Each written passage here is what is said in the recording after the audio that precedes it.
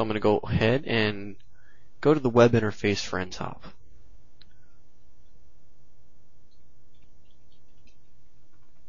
Okay. NTOP should have actually already started to capture some traffic.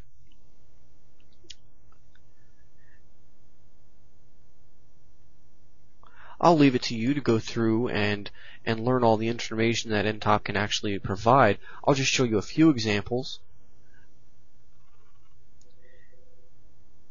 Here we see all the hosts that NTOP has collected information on.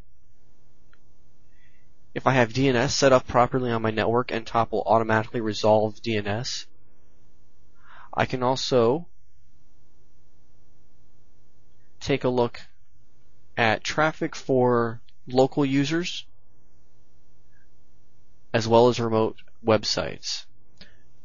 This is especially useful if I'm running a proxy server and I see a lot of data going to and from an internet site. Uh, maybe I could set my proxy server to cache that site uh, for a longer period of time or more often, and that might help my internet utilization go down a little bit.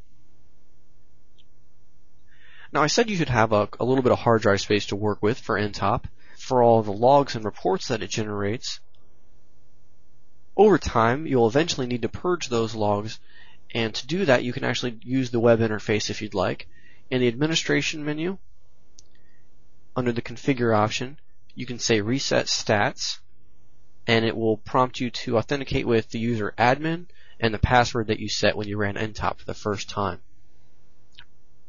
I would recommend that if you're going to be using the web interface to make configuration changes, that you would use HTTPS to connect to the web interface uh, so that you're not sending your password across the network in plain text.